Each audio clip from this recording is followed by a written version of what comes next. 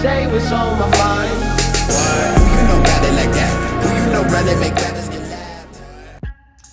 What is good? It's Djimon Nathaniel back with another DST Fitness video today. And from the title of today's video, y'all know what it is. I got a question and I also got an answer. So let's get into today's video. So I got written in off of TikTok. This kid asked me, how can I exercise easier? Because I have a lot of back pain and it's hard for me to do a simple push-up. So pretty much when it comes to working out and if, if you're, whether you're beginning and you have some type of back pains, knee pains, shoulder pains, whatever it may be, or you're advanced and you have back pains, knee pains, shoulder pains, the advice I'm gonna give, it goes for both ways, whether you're beginner or you're in advanced. And that's just that you have to modify it. Everything that you do, you have to modify it. So if you know that your knees are hurting and that you can't really do um, extension of your quads or of your of your leg or whatever it may be, or flexion of your knee. My bad, it's flexion of your knee. If you're doing flexion of your knee and that hurts, then maybe that you you shouldn't do motions that are like leg extensions, squats, um, anything like that. So if it's the opposite where like it doesn't hurt to do anything that, that works your hamstrings, so extension of your knee, then you may be able to do hamstring curls, you may be able to do deadlifts, who knows? You just have to mess around and see what, what works best for you. That's where a personal trainer or an exercise physiologist will come into play because then you can really, you know, tackle what's going on and you figure out what's the best way of uh, tackling this issue, figuring out this issue. But other than that, so you you know what your where your pain is at. Let's say that you know that you can't do this, this, or that. You modify the workouts, and then you're ready to go. Once you do those two things, you're able to really like create a workout plan and base around that. So you say you're having struggles doing push-ups. If you can't do a full-on push-up, have you done a knee push-up? That takes a little bit more weight off of your upper body so that you can do the push-up easier. Have you done a wall push-up where you're just on a wall and you're just doing a push-up like that?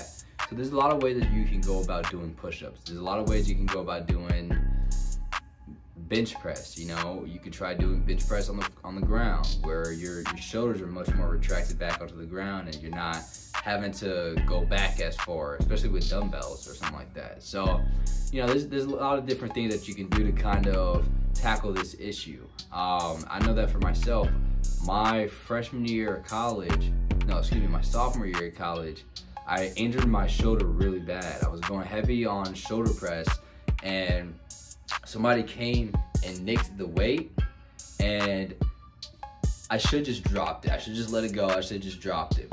But I think me trying to catch it made it worse rather than just like dropping it down. So that like really fucked up my shoulder. And I still feel pains in it every once in a while, but ever since then, like it's it's made it like it's just been terrible. Like I couldn't, you know, do any type of bench press. I couldn't do any type of shoulders. I couldn't do I could barely do back.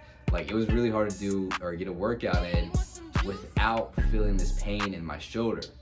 So I took some time off from the gym. I took some time off from exercising, and after a few months of kind of like rehabilitating myself, icing, uh, just giving myself the proper rest I needed, it was able to kind of heal back up. But when I came back to the gym, I still would notice that like some some exercises will cause it to flare up.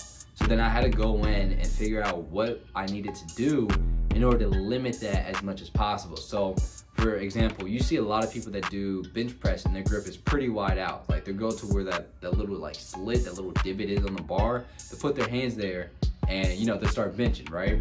But for me, I have to go into a closer grip because the further you go out, the more activation of your shoulders will happen, right? So that you, you can get stronger you could probably push more weight the further you go out because you're using your chest and you're using your shoulders. But like I said, you, are using more shoulders. So there's a more, much more of a possible risk of injuring your shoulders rather than just, you know, going closer in and focusing on your chest. And at first it's gonna be, when you go closer in, it's gonna be harder because I remember I was working with my friend and he's a, he's a um, athletic trainer And it was funny because he this is all he does. He does he like he rehabilitates people. He he helps people get back from injured to perfect, right? So he was gonna help me through my my shoulder injury, and he was telling me like, yeah, man, when you when you go closer in, it's gonna suck at first because that weight that you're pushing before is it's almost like you got to start over. You're going down to a plate, plate 25, and you, you got to rep that out. You got to you got to build up back up again. But when you do it right, you're only not going to feel pain in your shoulder anymore. You're also to get stronger because you're using much more of your, your chest. And your chest is far more stronger than your shoulders. So that's kind of what I did. And it took me a long time to kind of get back from doing wide grip to just kind of going into like a narrow grip and doing it from there. But guess what? When I did do that, the pain in my shoulders went away and my, my bench did go back up and it went further up than what it was at before. So all I'm saying is at the end of the day, we're all gonna have pain. We're all gonna have some type of something going on. And this is gonna happen in hopefully this doesn't happen everybody's fitness journey, but for a lot of people it does happen. But instead of figuring out, okay, I need to stop, you need to go do research and figure out how to modify the workout, how to modify, how to work around this injury because there's stuff that you can still do that may not cause it to, to flare up that you can, you know, still get a good workout in with. So that will conclude today's video. Thank you guys so much for watching. Y'all know the drill. Comment, like, subscribe, tell your mama, tell your daddy, tell your cat, and I'll see you guys in the next video.